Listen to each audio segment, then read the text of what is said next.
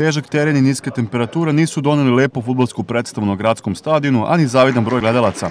Uprkos takvom vremenu golovi nisu izostali, a više razloga za slavlje imali su futboleri Crvene zvezde koji su pobedom nad Spartak Žepčevom krvi odnili sva tri boda za Beograd nakon preokreta, 1 naprema 2.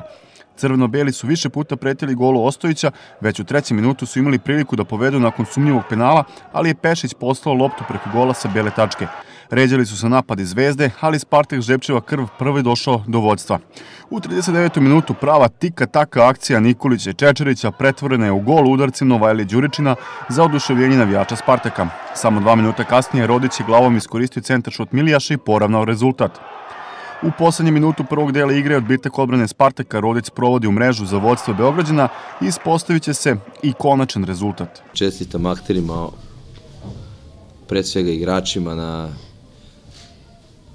izuzetno jednoj borbenosti po ovakvom vremenu i nije stvarno bilo prijatno igrati i terenu koji opet, ne znam kako se vama to čini sa strane, ali sigurno mi dole vidimo da nije u najboljem stanju, ne iz razloga što nije teren ko teren u najboljem stanju, nego jednostavno zbog vremenskih prilika. Čestitke akterima, igračima jedne i druge ekipe na beskompromisnoj borbi, na e, veoma visokom nivou moralno voljnih kvaliteta, želje da se izgara do poslednjeg momenta, ali istovremeno velikog fair playa i poštovanja i protivnika same futbolske igre, koju je veoma teško bilo provoditi u ovim uslovima, da se ne ponavljamo, već nekoliko dana pričamo o ovom terenu.